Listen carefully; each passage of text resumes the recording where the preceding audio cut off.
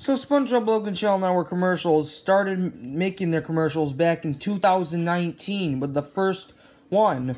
And I'm pretty sure I like those. I like coffee. Oh,